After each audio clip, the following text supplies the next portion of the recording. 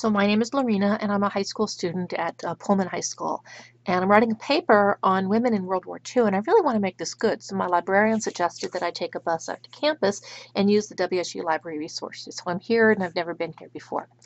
So I'm starting off the library homepage, let's go find that, and um, I don't know really what to do. So I'm going to look at this and the first thing it says is search, search everything and that looks good.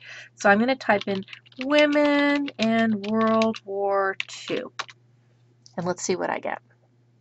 Okay, I'm looking at some good things here. Oh, this looks good. Women pilots of World War II. I probably want to get this.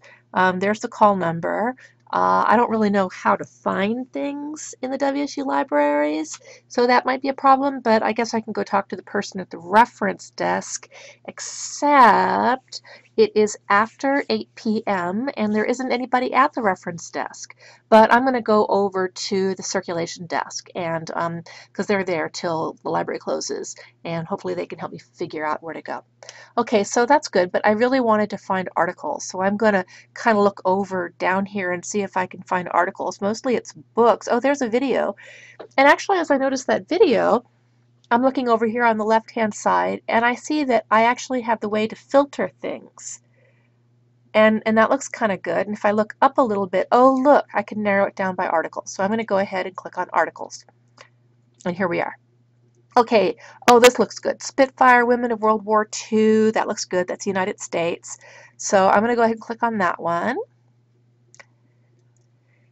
And let's see, there it is. It's from the journal Contemporary Review, and there's a citation, but I don't really know how to find it. It looks like they actually have it in print, but um, I'd like rather find it electronically if possible. So as I look at this, find a copy online, get this article, link to the journal, I guess what I want to do is get the article. So I'm going to go ahead and click on that.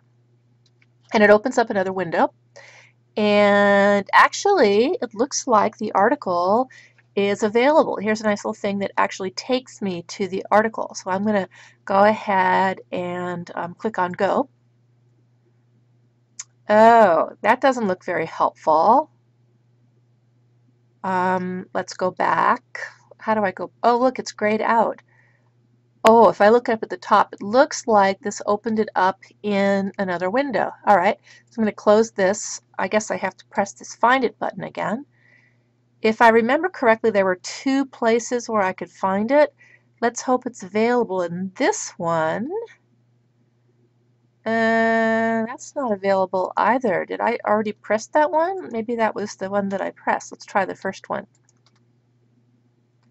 Okay, that's not very helpful. Well, let's kind of see. This looks right. What is this ISS uh, volume 290, issue 1690? Let's go back. Volume 290, issue 1690. Hmm. This looks weird. The ISSN? No. 389. Date.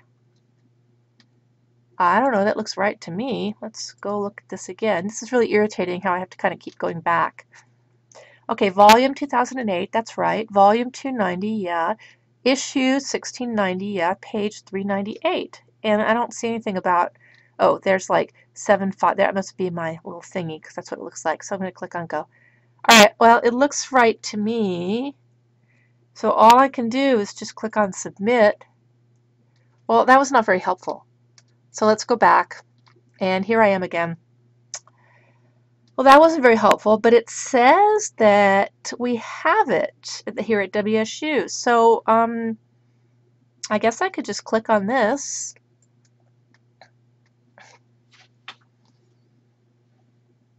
And, okay, I have to keep kind of going back. It's Autumn 2008, Volume 290, Issue 1690 volume 290, issue 1690. And I kind of look through here until I find the article.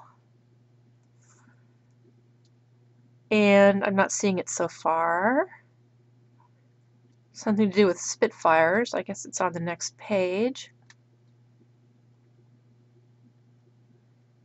Um, I don't see it. Spitfire Women of World War II, page 389. Page 382, 386. Look at this. It stops at 386. Hmm. Well, that's really irritating. It's actually not there. What am I supposed to do? Well, let's see. Maybe they made a mistake. Maybe it's actually in issue 1691. Let's go back. 2008, issue 1691. No, page 409. My article's not there. That was really frustrating. It says that it's available. Well, I'm going to go back and, um, well, let's see if they actually have it in print. Okay, I need it from 2008. And I'm going to go over here and I'm actually kind of confused. Um, this is like all the old stuff. It says here they have it till current issues, but I'm not guaranteed that. How do I find out whether or not they actually have it at the libraries? These aren't clickable. Let's see what this 12 copies thing says. Well, that just makes it smaller. I really don't know whether or not they have this at all. This is, as, as near as I can tell from this, they certainly have the old stuff, but I don't know. So I guess that this is, according to this, it's actually in the current journal room. And so I should go talk to the person at the circulation desk and find out where the current journal room is and see if it's there. But that it seems like it's weird. They say current journal room, but actually this thing actually goes from 1866 to current issues, which is like 150 years, and that's all going to be in the current journal room, wherever that is. Okay, I am totally confused. But that's a real shame because this article looked really good.